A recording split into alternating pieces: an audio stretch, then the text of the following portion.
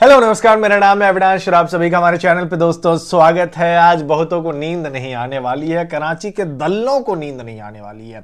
और ये सच हम बता रहे हैं, क्योंकि बाबर आज़म ने आज मैच के बाद जो कहा है और मैच में जो कुछ भी हुआ है, वो दुनिया ने देख लिया है। पहले बाबर आज़म ने बारह हज़ार रन पूरे किए, गेंदबाजों ने बढ़िया गेंदबाजी की। जिस नसीम शाह पे खूब तनकीद हो रही थी, उसी नसीम शाह ने इतनी लाजवाब गेंदबाजी की, सिकंदर वक्त का पिछवाड़ा एकदम लाल हो गया होगा।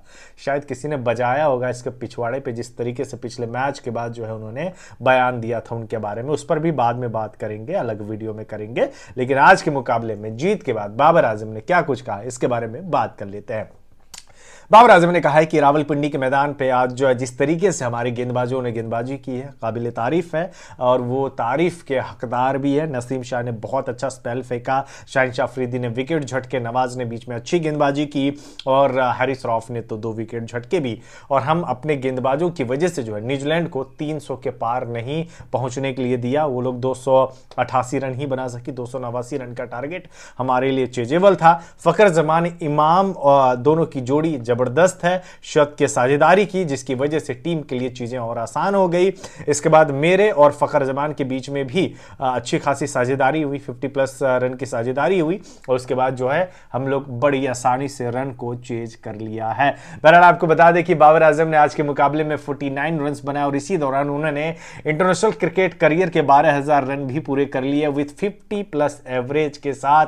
बाबर आज़म ने यह मुकाम हासिल किया। साथ ही सबसे तेज 12000 रन बनाने वाले दूसरे एशियन बल्लेबाज हो गए। पहले नंबर पर विराट कोहली है, जिन्होंने दो इनिंग का सहारा लिया था और बाबर आज़म ने दो सौ सतहत्तर इनिंग्स का सहारा लिया लेकिन दिलचस्प बात यह है कि इस दौरान जो है बाबर आज़म ने वनडे और टेस्ट मैच से ज़्यादा टी ट्वेंटी आई मुकाबला खेला है और टी ट्वेंटी आई में रन बनाना आप जानते हैं कि कितना ज़्यादा मुश्किल होता है। बावजूद इन्होंने 100 प्लस जो है टी ट्वेंटी आई मुकाबला खेला। वनडे अभी तक 100 वनडे मैच भी बाबर आज़म नहीं खेला है। तो लानत है पीसीबी पे पहली बात तो ये। और अच्छा प्रदर्शन किया है। उनचास रन काफ़ी ज़्यादा खुद से नाराज़ भी थे कि जल्दी आउट नहीं होना था। रन और चाह रहे थे बनाना और शायद टिके हुए रहते। तो क्या पता, बाबर आज़म का भी आज सेंचुरी हम लोग मना रहे होते सेलिब्रेट कर रहे होते। बहरहाल आज सब कुछ अच्छा हुआ है। दो सौ अठासी रन न्यूजीलैंड ने बनाए थे और टीम की तरफ़ से डैरिल मिचेल ने एक रन की पारी खेली, विली यंग ने छियासी रन की पारी खेली, सात विकेट के नुकसान पे दो रन, दो सौ नवासी रन का टारगेट मिला था और पाकिस्तान की टीम ने दो रन बना लिए, पाँच विकेट खो के।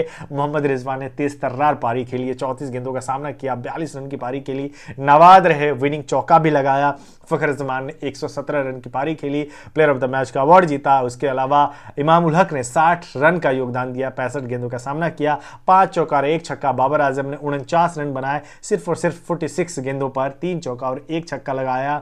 107 का स्ट्राइक रेट था, जबकि रिजवान ने, जैसा कि मैंने आपको पहले ही बता दिया, रिजवान ने बयालीस रन बनाया है। प्लेयर ऑफ़ द मैच का अवार्ड मिला है फकर जमान को। धन्यवाद।